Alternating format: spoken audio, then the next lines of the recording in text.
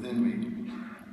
And um, at that time, the Beatles were also engaged in this kind of pursuit, and uh, they'd gone to India, and I decided to go to Kathmandu. Uh, only in the song.